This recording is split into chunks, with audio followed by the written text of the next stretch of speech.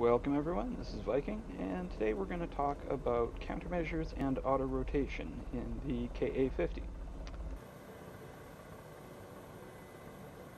Now, I'm playing back a track here, so I might get the narration a little bit off um, in terms of the overall timing, but uh, basically what's going on here is we've got a manpad located down here, and we're going to fly through the edge of its weapon engagement zone in order to provoke an attack.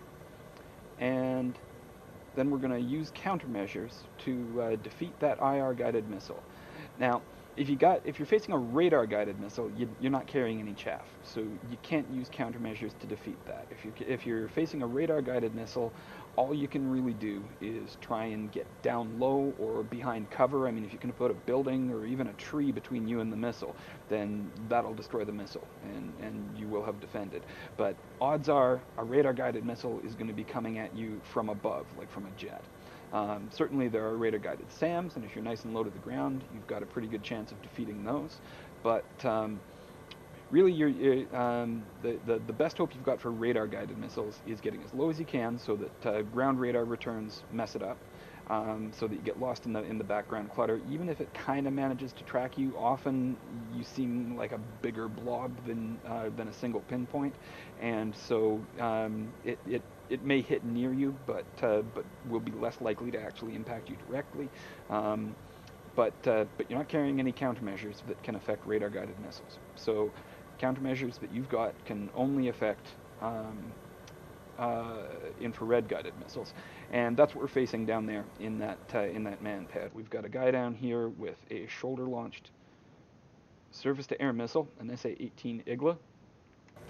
And fortunately, those things stand a decent chance of being fooled by flares. Now, we're going to program in 519 as our countermeasures program. Now, these three buttons determine the countermeasures program. Um, 5 is a special code, it means 12. 7 is a special code, it means 15. And over here, 7 is a special code, it means uh, 0.25 seconds, quarter second. And 9 is a special code, means half second. So 519 means that 12 flares come out of each side because I've got uh, uh, I've got both these lights lit up here. That means that the uh, the program runs for each flare dispenser, and there's one on either side of the aircraft. Um, and so we're going to get 12 flares coming out of each side for a total of 24. And that uh, there I am selecting the, uh, the different sides. Um, so you can have it just come out the right side, just come out the left side, but honestly, if I'm in a position where I need countermeasures, I don't want to be thinking about which side is the best side and then flipping switches for it. So I just put both of them on. Um, and then, because this is a 9, the flares are going to come out every half second. If I want, I can hit this button to make that happen three times. But I, I, if I want to make it happen multiple times, I can just hit the button again. So I usually set 519. So that's uh, 12 flares out of each side every half second. Takes six seconds to run the program. 24 flares get dispensed. That's a that's a pretty good quantity of flares. You've got 128 of them, so you can do that like five and a half times, um, and that's good enough for most situations. If you're uh, if you're fighting off more than five missiles, there's a pretty good chance that one of them is going to see through the countermeasures and hit you anyway. So I say, you know, you might as well just use what you've got while you're still alive to use it. There's uh, there's not much point in dying with flares to spare. Now, very shortly we're going to get going. We're going to clip the edge of the zone, and because this is a track replay, I happen to know that he's not going to shoot at us on our first pass through. Um, but we're gonna we're gonna look for him and see if we can spot the guy. Once we do get hit, we're we're gonna take some serious engine damage. And at the time, I thought that he got both of our engines because we get hit twice. Um, and so I attempted to perform an auto rotation. As it happens, I had power in one of my engines, so it wasn't really a proper auto rotation, but it demonstrated the principles. Um, basically, this is your rotor RPM down here. You got your engine RPMs here. If uh, if the one and two needle are lined up, so you can't even see the two needle because the the one needle is higher, um, then both your engines are healthy. That's cool. The RPMs are high, but uh, when you're descending uh, in auto rotation, you want to make sure that the rotor RPMs stay between the two red lines. As long as they do that, then you'll have enough momentum in your rotor blades that A, you can control it on the way down, and B, you'll have some, uh, some energy in your rotors to spend for when you need to flare before touchdown.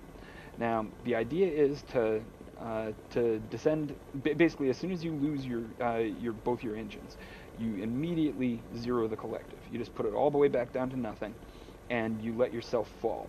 Um, you want to maintain a forward speed of approximately 100 kilometers per hour, um, so that you don't generate a vortex ring state.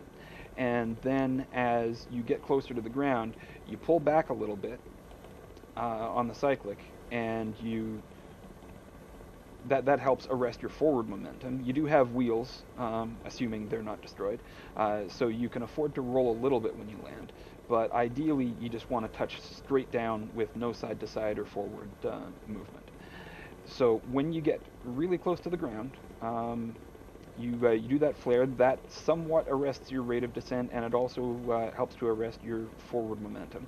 And then you gently push the collective all the way up to maximum and that increases the uh, the blade pitch, and you spend the energy that's in your rotors to uh, to take away the last of your downward momentum, and then hopefully you just plunk gently down on your landing gear. It takes a bit of practice to uh, to do it well, but uh, it's worth knowing how to do it.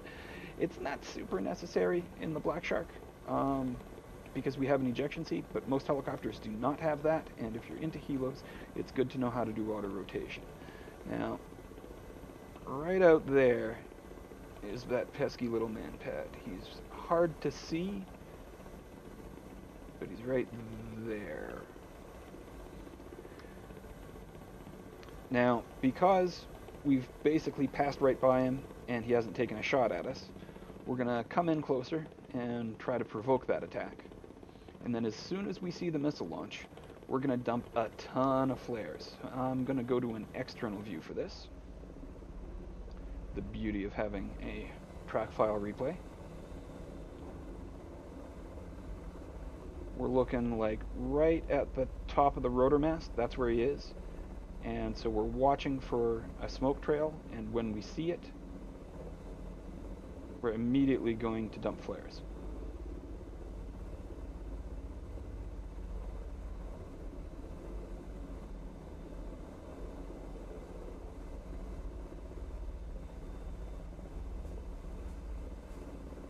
Whew! And it goes for the flares. And will get to see it pop in the distance? I guess not. Alright, well, we head nice and low, and I thought that uh, that this guy was going to take a while to reload, and because I'm moving nice and quickly, that uh, that he wouldn't have a chance to shoot at me again before I turned around. Um, however, this guy is fast with the reload, man boy, is he ever fast. And I figured, okay, well, he, there's there's no way this guy's gonna get a third shot off. It's like, no, no, no way that's gonna happen. So I figured I could I could just sort of you know cruise here, but oh my goodness, look at that smoke trail. Oh, and things are on fire. Not good. Now I hit the fire extinguisher button. Um, inside the cockpit, that's over here. You can see that there's a fire in the engine. You hit that extinguisher button. Uh, I did hit it. It doesn't seem to have done a whole lot of good. And this is where I try to do the auto rotation.